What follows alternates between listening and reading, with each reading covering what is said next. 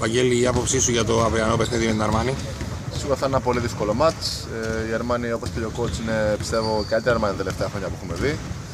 Έχει παίχτες πολύ ποιοτικούς με ταλέντο, έχει πολύ βαθύ ρόστερ και πιστεύω αυτή είναι η μεγάλη διαφορά με, με τις προηγούμενες χρονιές. Παρ' όλα αυτά παίζουμε στην έδρα μας, στο σπίτι μας, με τον κόσμο μας και θέλουμε να φτάσουμε σε άλλη μια σημαντική νίκη για τη συνέχεια. Το γεγονός ότι στο αυριανό συγκεκριμένα παιχνίδι εσείς έχετε την πίεση, αυτοί έρχονται πιο χαλαροί, δεν έχουν να χάσουν πολλά, τους κάνει ακόμη πιο επικίνδυνους. 100% σίγουρα τους κάνει πιο επικίνδυνους. Ε, όταν ε, μετά τη, ειδικά από την ε, νίκη που κάνει στα Ρωσάφακα που ήταν πολύ σημαντική, πάνε πάλι σε ένα εκτός έδρας παιχνίδι. Δεν έχουν άγχος, δεν έχουν πίεση όπως είπες εσύ. Ε, αυτό τους κάνει ακόμη πιο επικίνδυνους και γι' αυτό πρέπει να είμαστε ακόμη πιο συγκεντρωμένοι και να, είμαστε, να δώσουμε τον καλό μας σε αυτό ώστε να μην τους αφήσουμε περιθώρια. Στο, κομ...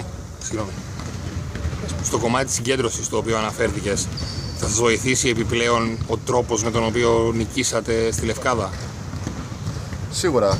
Ε, εντάξει, έχουμε πει ότι η χρονιά θα είναι πολύ δύσκολη, πολλά ταξίδια, πολλή κούραση.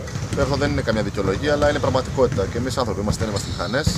Ε, το θέμα είναι ότι ξέρουμε ότι κάναμε πολλά λάθη σε αυτό το μάτι της Λευκάδα. Το χάσαμε διαφορά 17 πόντων, χαλαρώσαμε, που είναι απαράδεκτο όταν ε, είσαι σε μια τέτοια ομάδα.